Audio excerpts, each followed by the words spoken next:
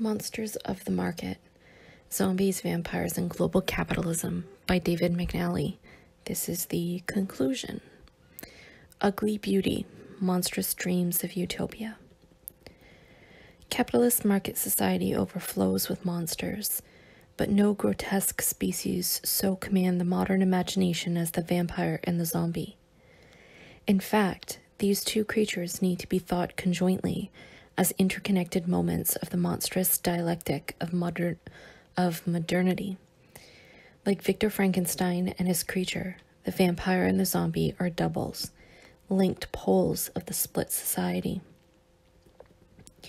If vampires are the dreaded beings who might possess us and turn us into their docile servants, zombies represent our haunted self image, warning us that we might already be lifeless, disempowered agents of alien powers. Under the hegemony of the spirit world of capital, writes Chris Arthur, we exist for each other only as capital zombies, its personifications, masks, supports.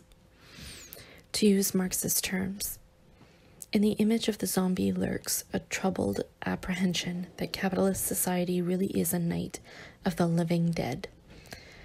Arthur's insights returns us to the salient image that proliferates throughout sub Saharan Africa today. The zombie laborer having emerged in Haiti in the early 20th century. The earliest zombies were indeed dead men working, unthinking body machines, lacking identity, memory, and consciousness, possessing only the physical capacity for labor. Unlike flesh eating ghouls who have come to stand in for them in the culture industries of late capitalism, these zombies harbor the hidden secret of capitalism its dependence on the bondage and exploitation of human laborers. However, because they are the living dead, zombies possess the capacity to awaken, to throw off their bonds, to reclaim life amid the, amid the morbid ruins of late capitalism. As much as they move slowly and clumsily through the routinized motions of deadened life, zombies also possess startling capacities for revelry and revolt, latent energies that can erupt in riotous nights of the living dead. Bursting across movie screens and the pages of pulp fiction, such zombie festivals contain moments of carnivalesque insurgency, horrifying disruptions of the ordered and predictable and predictable patterns of everyday life. Without warning, a rupture in the fabric of the normal transforms the living dead into hyperactive marauders. The maimed and disfigured seize the streets and invade shopping malls. Authority collapses, anarchy is unleashed. Part of the attraction of such displays and of much of the horror genre generally resides, of course, in its capacity to gratify as much as to frighten. As viewers, we, or at least many of us, derive a deep pleasure from images of fantastic beings wreaking havoc upon polite citizens of well ordered society. And here we can locate part of the utopian charge animating zombie rebellions. As Bakhtin reminds us, utopia often comes bathed in the grotesque.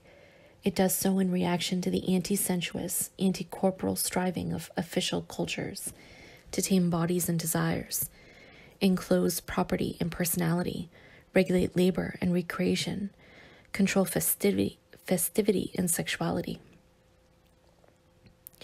Against the dreary and anti corporal seriousness of sanctioned modes of life, oppositional cultures engage in parody by way of inversion.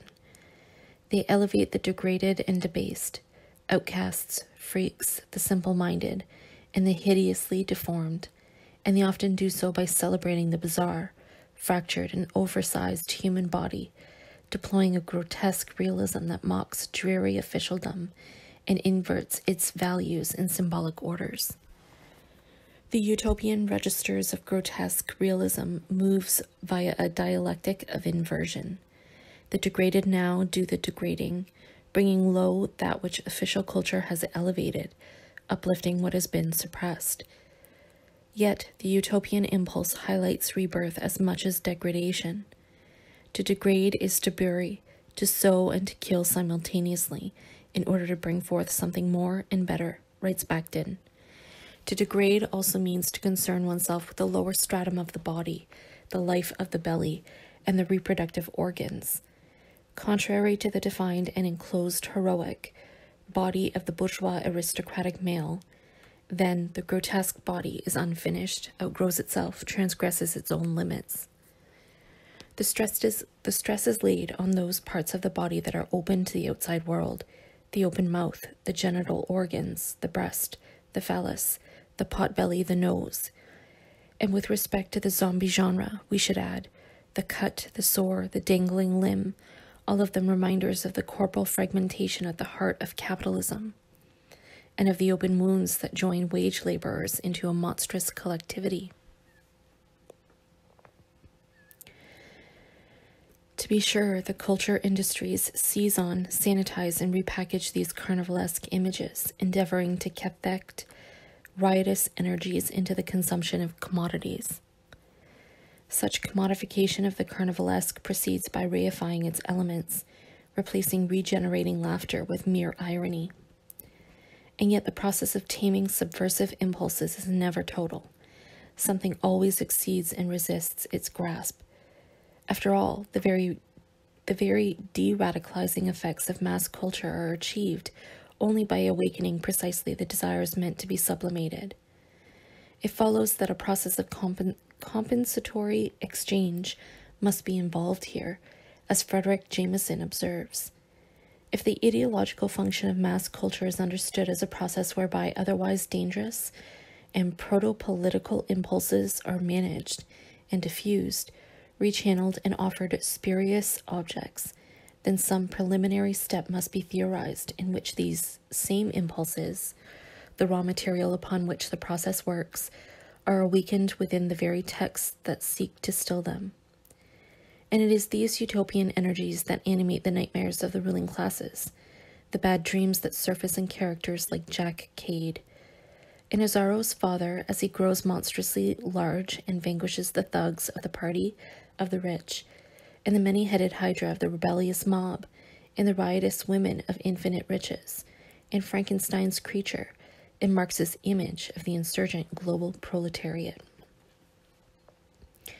One of the decisive things about the many headed monster in Frankenstein's creature is that they are multiplicities that comprise a unity. The Hydra mob's many heads connect to a common body, just as the corporal bits of Frankenstein's creature, made up of animal and human parts, cohere into a living, breathing, speaking colossus. The ascription of the latter attribute, speech, is, as we have seen, amongst the most subversive aspects of Mary Shelley's story, perhaps why it is omitted in most film adaptations. It is bad enough, after all, that a creature assembled from a fragmented from fragmented parts might actually assume a human form, however distorted. But with speech, it becomes exponentially more threatening, capable of association with others of its ilk. In Shelley's tale, of course, the creature is isolated and forlorn, forlorn, desperately seeking a companion. It speaks only to its oppressors and tormentors, but traversing her novel lurks the anxiety that the creature might not forever be alone, that it might acquire a companion, reproduce, and form a monstrous social collectivity. And this prospect is prospect is hinted at in the sailor's rebellion that hurries the novel to its close. Collective rebellion by laborers signals the course imagined by Marx, who is said to have enjoyed the story of Frankenstein. In his call for associated action and organization, Marx imagines that the crippled monstrosity of the working class might reassemble itself, find its voice, and begin to move to a new rhythm, not that of capital's machines, but one of its own making. In this dance of the gravediggers, Marx identifies monstrous forces of redemption and regeneration. He envisions the multiplicity that is the collective worker, acquiring a new consciousness and identity, a new praxis. There is no loss of individuality here. On the contrary, a new mode of individuality is generated in the act of revolutionary reassemblage. In this spirit, Marx projects the emancipation of the collective worker in terms of the creation of a new, organic social body wherein people reproduce themselves as individuals, but as social individuals. In so doing, he envisions proletarian liberation as a dance of the concrete universal, to borrow a term from Hegel, a dynamic to- totalization that affirms identity and difference, or what Marx calls elsewhere a unity of the diverse. While Marx himself may not always have envisioned this collective agent in all its potential diversity, this is the direction in which the logic of his position tends. It is suggestive in this regard that Britain's sailors, the group responsible for collective revolt in Frankenstein, were just such a unity of the diverse, multiracial Irish, English, African, as two historians note. So much was this the case that by the end of the Napoleonic Wars, roughly one quarter of the Royal Navy was black. Assembled from multiple groups of the dispossessed, the deep sea proletariat rose to moments of exceptional militancy and solidarity. It seized ships in mutinous insurgencies. It challenged the rule of state and capital, and it transgressed the enclosures amongst nationalities and ethno racial groups, acquiring a heightened gro- grotesquerie in its violations of the emerging categories of race. Proletarian monsters are, by definition, monsters of the body. Not only do their corporal powers become the life force of capital, enabling the latter's vampire like expansion. More than this, their emancipatory struggles entail monstrous claims of the body against the abstracting powers of capital. Marx's Dance of the Gravediggers, a festive zombie riot, involves the victory of the sensuous over the non sensuous, the material over the abstractly ideal. Bodies loom large, grotesquely so, in this narrative of liberation and their monstrous presence reverberates across the stories of zombies on the march. This is the point at which Marx's communist vision rejoins the great plebeian tradition excavated by Bakhtin, in which the immortal laboring people constitute the world's body, in the words of one commentator. It is also the point at which it converges with that anthropological materialism, to use Walter Benjamin's designation, whose pivot is the emancipation of the flesh. In affirming its concrete embody- embodiment as a living collectivity, the insurgent working class rescues laboring bodies from their near death. Their function is mere automata that enable capital's valorization. This moment of rebellion is also one of recuperation. The zombies awake, and in doing so, reclaim their very corporality from the abstracting powers of capital, establishing the ontological precondition for the recovery of memory identity, and history. So shattering is a zombie awakening, so disruptive of the molecular structure of bourgeois life, that it is typically figured as a frenzied upheaval of nature itself. After all, the monstrous collective body of labor inevitably appears as an elementally natural force in a society that has abstracted it from history and the social. Okri grasps precisely this naturalization of the laboring body when, in portraying Azaro's father at work, he tells us that his blood trickled from his back and mixed with the rubbish of the earth. The idiom of horror remains the only genre for registering the insurgency of a monstrous body joined to the very earth itself. Take Dickens's description from Barnaby Rudge.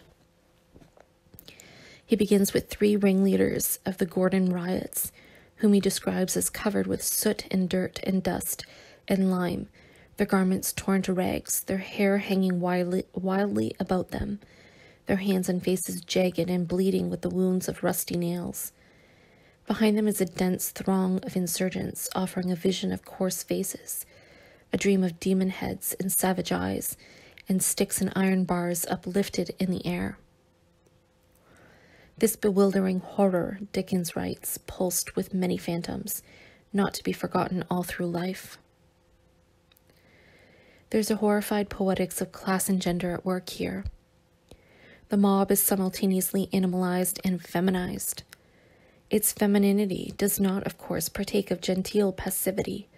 Rather, it consists of crazed, transgressive, plebeian womanhood. The riotous rabble is defined by blood and dirt, by huge, all consuming passions, by the life swallowing powers of Mother Earth. The female grotesque thus features centrally in the construction of the monstrous mob. So do the categories of race. The extent to which the European working classes were racialized in the discourse of emergent industrial capitalism is rarely appreciated today. Yet during the epoch in which scientific racism emerged in order to rationalize the oppression of Africans and colonized peoples, its categories were sufficiently pliable to racialize the laboring poor of Europe as well.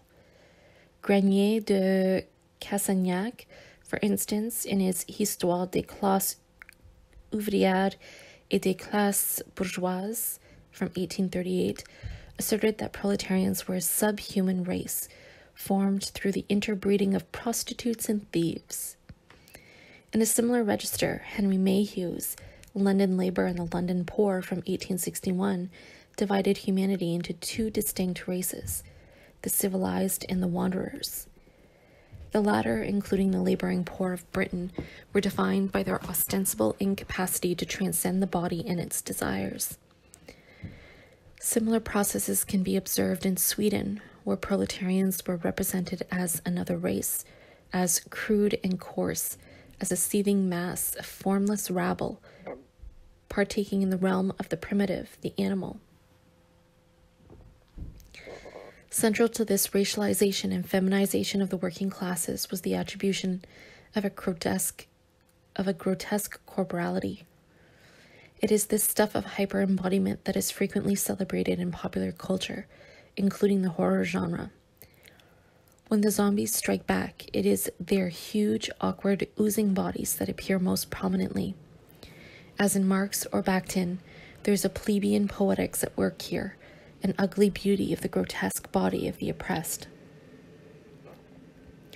Here is something lacking, however, in the zombie revolts that emerge in popular culture today, and that something is what has been lost in the transition from Haitian to Hollywood zombies, and the very thing that has been recuperated in zombie tales emanating today from sub Saharan Africa. Haitian zombies, as we have seen, are mindless laborers, people reanimated from the dead who lack everything identity, consciousness, memory, language, save the brute capacity for labor. They're physical bearers of labor power and nothing more. This feature figured prominently in American popular appropriations of zombies in the era of the Great Depression. As we have seen in William Seabrook's The Magic Island in 1929, zombies are portrayed as dead men working in the cane fields.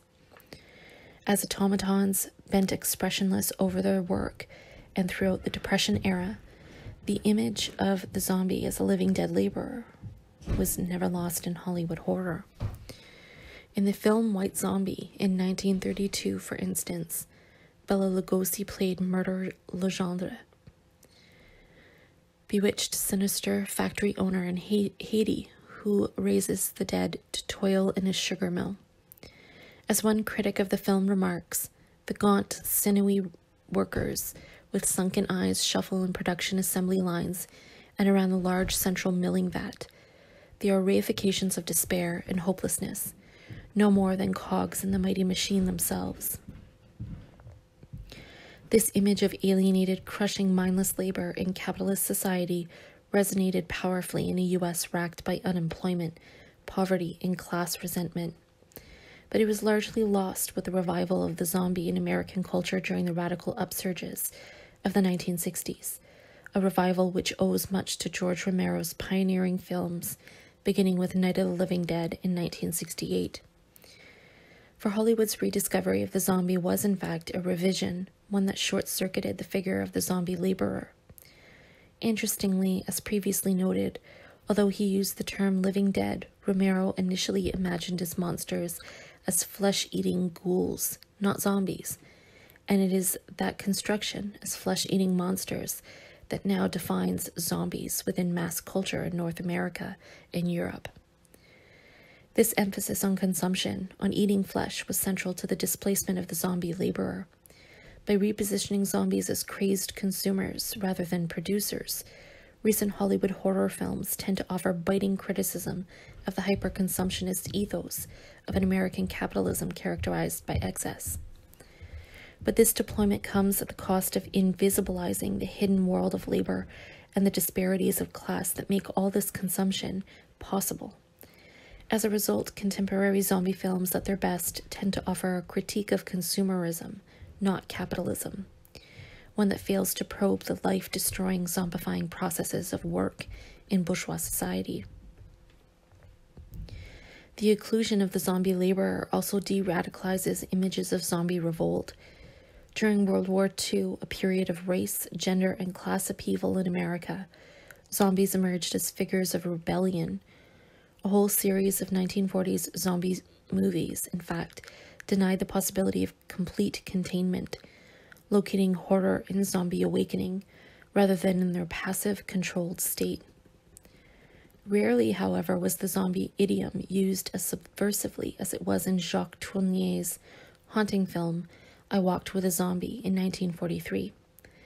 Celebrated as one of the finest of all American horror films, I Walked with a Zombie depicts the decline of colonial capitalism in the form of a dysfunctional white family, descended from slave owners, as it sinks slowly into decay and self destruction on a small Caribbean island. Deploying a problematically gendered trope, a white woman comes to stand in for a dying colonialism. Characters in the film remark of her, as of her class as a whole, that she was dead in her own life and dead in the selfishness of her spirit. In a dramatic reversal, zombies now take shape as creatures from the imperial metropole, not the colonial hinterland as the living dead of a morbid colonialism, passively waiting to be washed away by the tides of history. Fittingly, the film ends with the deceased white zombie and her lover disappearing into the sea as the voice of a black character intones, Forgive them who are dead and give peace and happiness to the living. At the historical moment, I Walked with a Zombie was offering its cultural critique of empire. A new and innovative zombie music was emerging to give expression to rebellious countercurrents amongst African Americans. The very year the film appeared, in 1943, the so called Harlem Riot erupted following the shooting of a black soldier by a white cop. The Harlem Uprising came amidst a growing radicalization of, Amer- of African Americans in unions, the military, and burgeoning civil rights organizations. As new practices and cultures of resistance formed, Music became a key register for expressing discontent with racism, menial jobs, unemployment, poor wages, and military conscription. In after hours clubs and apartments, a young, defiant generation of jazz musicians forged a radically new musical language, soon known as bebop, as an aesthetic idiom for new structures of feeling anger, pride, nonconformity with white America, hostility to racism, and privilege. Bebop was a complex, musically sophisticated, emotionally expressive protest music. It required exceptional musicianship and creativity and enormous facility at improvisation. In and through it, the new jazz revolutionaries produced a music of dissonance, of jarring contrasts and polyrhythms as they turned chord progressions around, played against a tune's underlying harmony, and shifted tempos all in an effort to create a visionary African American aesthetic that spoke to a world in disarray while pulsating with the rhythms of zombie rebellion.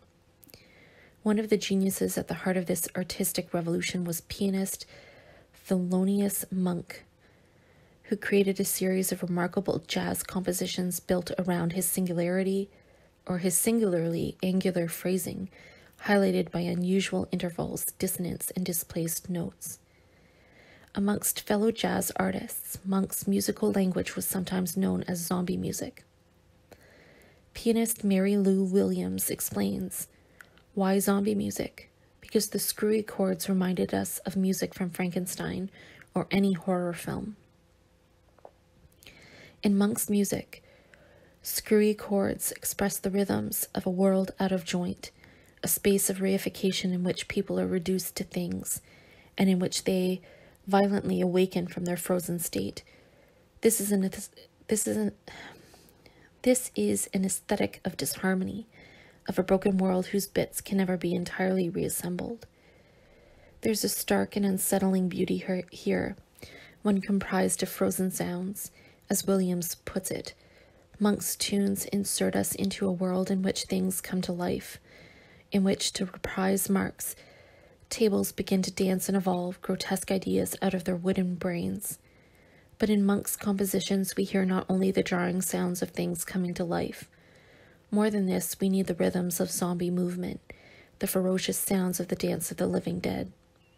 It is now widely recognized that the entire African American experience is bathed in living death and the double consciousness of being both person and thing. And Monk's music captures this in the monstrously beautiful cadences of the banging, smashing, crashing chords of an emerging African American protest music, one that gave a new urban cadence to the rhythmic cry of the slave, to use Du Bois' apt expression. The music of the enslaved, both song of sorrow and cry of freedom, is like all horror idioms, a language of doubling. Across these musical landscapes, freedom and bondage clash, producing that jarring dissonance in which pursued and pursuer reverse positions, each chasing and fleeing the other. Only a music of polyrhythms, shifting tempos, and displaced notes could begin to capture the ugly beauty of this experience, to invoke the title of one of Monk's compositions. After all, enunciating the wounds and scars of oppression, the beauty of zombie music can only be ugly. In giving voice to bodies in pain, it howls these wounds, names them, explores them, accents them. For this reason, horror must remain one of its idioms, and yet in its very artistic production, it defiantly asserts the enduring beauty of survival and resistance, and of the pursuit of freedom. For as Monk's preeminent biographer states, Thelonious Monk's music is essentially about freedom, and this contributes to its haunting beauty. Like Frankenstein's creature, the crippled monsters of labor, the descendants of African slaves speak and sing, dance, and create world moving art. Through this zombie music, the living dead come to life, dance across a landscape of corpses and ruin, and affirm the irreducible beauty of their freedom song. Today, modern jazz no longer occupies its central position as protest music, even if its influences can be detected in genres as diverse as hip hop and Afrobeat. Interestingly, a new zombie music of sorts, carrying a jazz influence, emerged in Nigeria during the 1970s, just as neoliberal globalization was setting in and provoking the spate of vampire and zombie tales we have explored. In Fela Kuti's hit album Zombie from 1977, the image of the living dead is redeployed in a searing attack on the Nigerian army, whose members and their political masters figure zombified monsters preying on the people.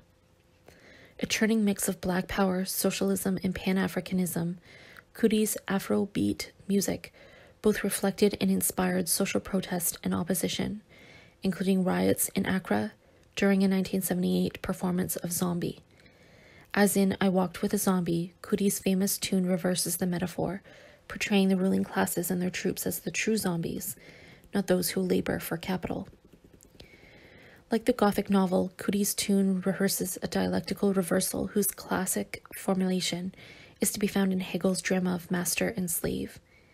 In his phenomenology of spirit, Hegel takes us through a role reversal in which the master, in his dependence on the labor of the slave, becomes a passive, lifeless being bereft of historical initiative, while the slave discovers in labor her life generating world building capacities. The dialectic thus undergoes a, boom, a boomerang effect, zombifying society's rulers and awakening the oppressed to their historical capacity to extend the realm of human freedom. If in the Hegelian dialectic, progress in the realization of freedom can be carried out only by the slave, historical reversal toward freedom comes for Marx by way of the insurgence of the global pro- proletariat. But here Marx's knowledge was deficient, as he too did not grasp the extent to which an actual revolution made by African slaves, the Haitian Revolution, figured directly in Hegel's view that the freedom of slaves must be won through their own emancipatory struggle in a revolutionary trial by death. But Susan Buck-Morss, but Susan Buck-Morss's path-breaking research in this area suggests persuasively that Hegel not only followed Haitian events, but that, but that he used the, the sensational events of Haiti as the linchpin in his argument in the phenomenology of spirit. In so doing, she reinstates the dialectic of race and class that is constitutive of capitalist modernity, while demonstrating that a revolutionary movement of black slaves was the high point of freedom struggles in the age of revolution. Rethinking the history of bourgeois modernity in this way requires that we read the post Hegelian treatment of the master slave relation through Fanon as much as Marx. Indeed, doing so renders more powerful Marx's reversal of the zombie dialectic. After all, Marx depicts capitalists too as prisoners of reification, as systematically zombified. The capitalist, he writes, functions only as personified capital, capital as a person, just as the worker is no more than labor personified.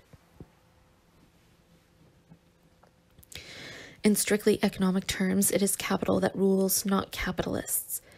The latter are mere bearers of capital's imperatives. Because they are merely things personified, the rule of the capitalist over the worker is the rule of things over man, of dead labor over the living. As a result, capitalists too function as the living dead.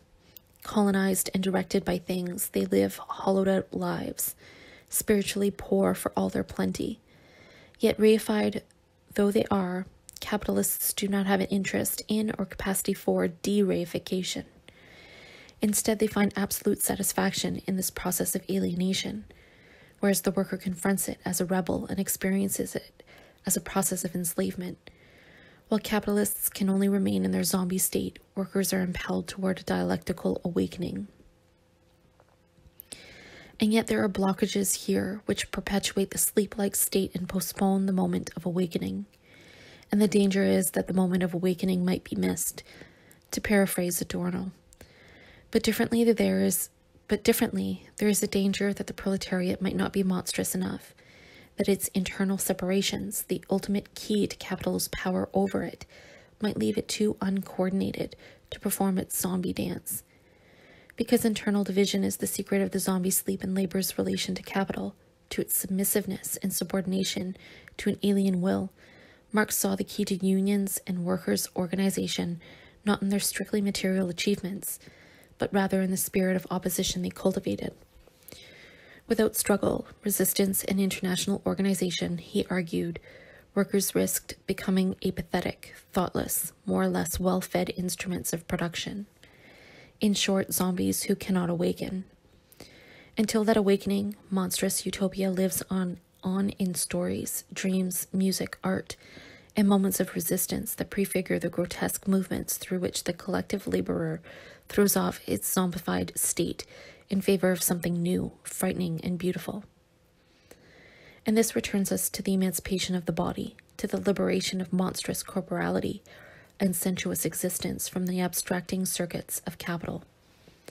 But it, but it should also serve to remind us that there is no emancipation of the body short of a radical transformation of the relations between persons and things, short of the liberation of all our relations to the world, seeing, hearing, tasting, feeling, thinking, contemplating, sensing, wanting, acting, loving. It is the essence of any materialist phenomenology that humans are enmeshed in an object world, shaped in and through their practical activity, clothes, dwellings, beds, chairs, tables, cups, plates, tools, toys, books, and more comprise the social material and meaningful nexus of all lived experience. Yet capitalism inserts the market as forced mediator in our relations to such things. It wraps objects in the straitjacket of the capitalist value form, and in so doing it empties them of their concrete, sensible features, turning them into mere repositories of exchange value. Warmth is ebbing from things, observed Walter Benjamin in a reflection on the hollowing out of things into mere vessels of phantom objectivity, value. As Stallybrass brilliantly reminds us, these dynamics of reification and abstraction touched so personal an item for Marx as his own overcoat, whose circuits in and out of the pawn shop he gloomily tracked. Ironically, an overcoat figured crucially in the actual life and death of Aris Kindt, the anatomized subject of Rembrandt's The Anatomy of Dr. Nicholas Tulp.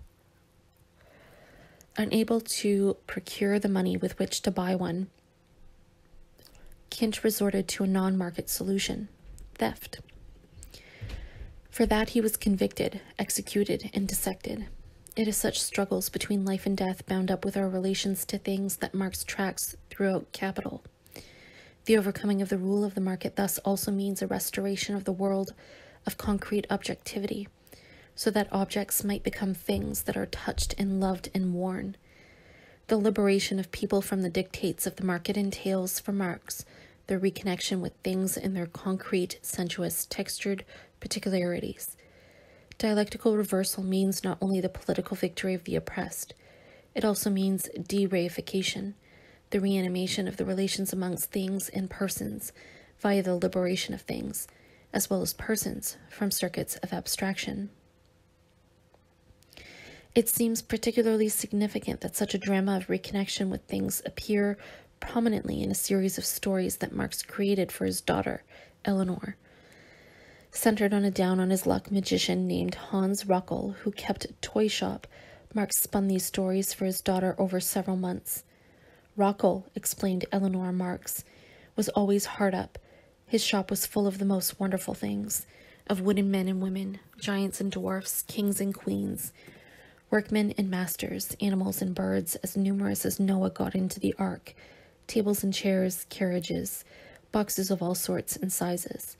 And though he was a magician, Hans could never meet his obligations either to the devil or the butcher, and was therefore, much against the grain, constantly obliged to sell his toys to the devil. These then went through wonderful adventures, always ending in a return to Hans Röckle's shop. Here we observe the dialectic of loss and recovery, as Hans Röckle's toys are alienated in payment to the devil, disappear into commodity circuits where they undergo great adventures, only, only to return to his shop. And in this return resides the dreams of utopia, in their reversion to use value and their disalienation, in their exit from the circuits of market exchange. Things are recuperated, their ebbing warmth restored. There's a magic at work in liberation, then, one that brings persons and things back to life and breaks the spell of zombieism. That magic resides often in stories today, just as it did in Marx's tales for his daughter. Lurking in such stories observes Silko, are relentless forces, powerful spirits, vengeful, restlessly seeking justice. In Almanac of the Dead, she thus imagines Marx as a storyteller who worked feverishly to gather together a, a magical assembly of stories to cure the suffering and evils of the world. Ultimately, as Marx well knew, magical stories pressed to be taken up by magic hands, to borrow Fanon term, rather than rather than the detached hands to which capital tries to reduce them. The world proletariat needs to become a many-headed and many-handed monster, like Shelley's Demogorgon, the people monster, capable of shaking the very planets and, upend- and upending Jupiter's throne. We glimpse something of these possibilities in Jack Cade's ramblings, in the battles of Black Tiger, in the mobs that smashed the locks and burned down the prisons, in Barnaby Rudge, in the industrious women of the city who storm government offices and police stations in infinite riches.